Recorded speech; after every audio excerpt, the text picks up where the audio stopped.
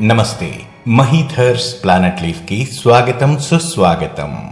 భగవద్గీతలో ఉన్న పద్దెనిమిది అధ్యాయాలు పద్దెనిమిది యోగాలలో ఒకటి నుండి ఆరు వరకు ఉన్న అధ్యాయాలను కర్మషట్కము అంటారు. దీనిలో మొదటి అధ్యాయం అర్జున విషాద యోగం ఈ రోజుటి మన వీడియోలో అర్జున విషాద యోగంలోని ముప్పై ఎనిమిది నుండి నలభై రెండు శ్లోకాలను వాటి తాత్పర్యాలను తెలుసుకుందాము. ధృతరాష్ట్ర కుమారులను చంపడం వలన కలిగే వివిధ రకాల పాపాల గురించి అర్జునుడు శ్రీకృష్ణుడితో ఈ విధంగా అంటున్నాడు. యద్యప్యేతేన పశ్యంతి లోభోపహత చేతస కులక్షయకృతం దోషం మిత్రద్రోహే చ పాతకం. కథం న జ్ఞేయమస్మాభి పాపాదస్మాన్ని వర్తితుం కులక్షయ కులక్షయకృతం దోషం ప్రపశ్యద్భిర్జనార్దనా। కౌరవుల ఆలోచనలు దురాశచే భ్రష్టుపట్టి బంధువులను సర్వనాశనం చేయటంలో గాని మిత్రులపై కక్ష తీర్చుకుని విశ్వాసఘాతుకత్వం చేయటంలో గాని వారికి ఎటువంటి దోషం కనబడుటలేదు.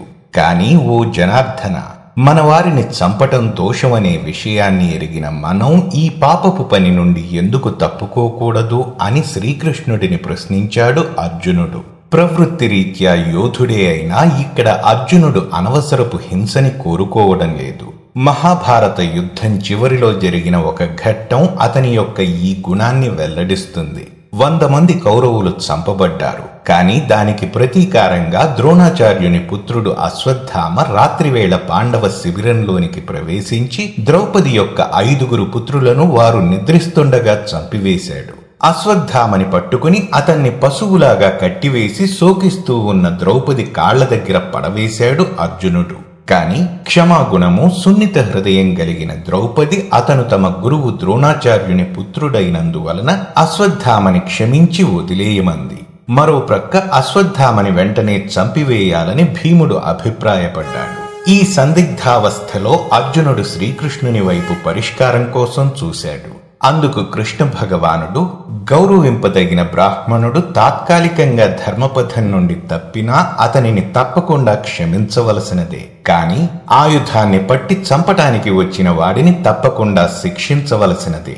అర్జునుడు ఈ విరుద్ధమైన సూచనలను అర్థం చేసుకున్నాడు. అశ్వత్థామను చంపలేదు గాని అతని తల వెనుక పిలకను కత్తిరించి అతని నుదురు భాగంలో ఉన్న మణిని తొలగించి అతనిని శిబిరము నుండి బహిష్కరించాడు. కాబట్టి సాధ్యమైనంత వరకు హింసని విడనాడటం అర్జునుడి సహజ స్వభావం.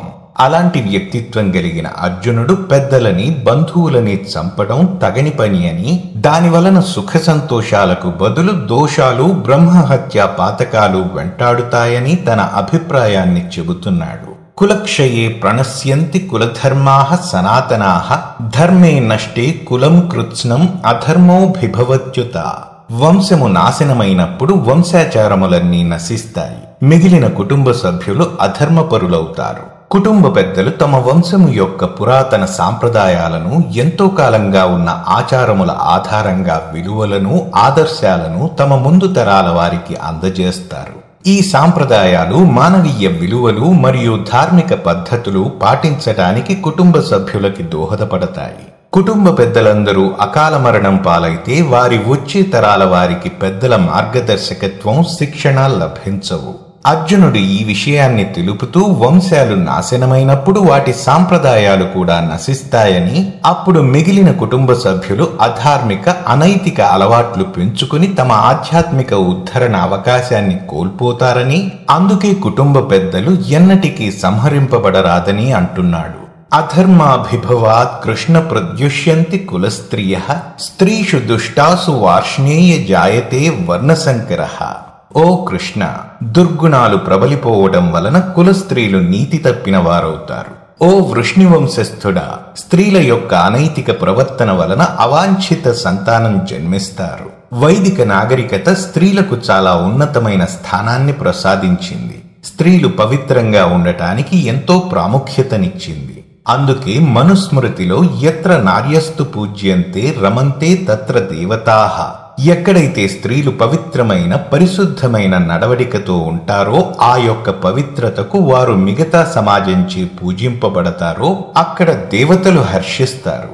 కానీ స్త్రీలు నీతిబాహ్యమైన ప్రవర్తనతో ఉన్నప్పుడు బాధ్యతారహితమైన పురుషులు తమ జారత్వాన్ని అదనుగా తీసుకోవడం వలన అవాంఛిత సంతానం కలుగుతారు. అది పూర్వీకుల వంశాన్ని కూడా భ్రష్టు పట్టిస్తుంది శంకరో నరకాయైవ కులజ్ఞానాం కులస్య చ పతంతి పితరో హ్యేషాం లుప్తిపిండోదక క్రియాహ అవాంఛిత సంతానం పెరగడం వలన కులానికి కుల నాశనానికి కారణమైన వారికి కూడా నరకము ప్రాప్తిస్తుంది. శ్రాద్ధ తర్పణములు లుప్తమైన కారణముగా ఆ భ్రష్టుపట్టిన వంశ పూర్వీకులు కూడా పతనమవుతారు. అని తన మనోభావాలను యుద్ధం వలన కలిగే అరాచకాలను శ్రీకృష్ణుడితో వ్యక్తపరుస్తున్నాడు అర్జునుడు. మన తదుపరి వీడియోలో పెద్దలను గురువులను సంహరించడం వలన కలిగే మరిన్ని అనర్థాల గురించి కుల నాశనం గురించి శ్రీకృష్ణుడితో అర్జునుడి సంభాషణను తెలుసుకుందాము. కృష్ణం వందే జగద్గురుం. మరిన్ని మంచి వీడియోస్తో మళ్ళీ మీ ముందుకు వస్తాను. మరి ఆ వీడియోలు మిస్ కాకూడదనుకుంటే మన ఛానల్ను సబ్స్క్రైబ్ చేసుకోండి. అలాగే వీడియోస్ని లైక్ అండ్ షేర్ చేయడం మరచిపోకండి. మీకు తెలిసిన తెలుసుకోదలచిన విషయాలను క్రింద కామెంట్ బాక్స్లో తప్పక తెలియజేయండి.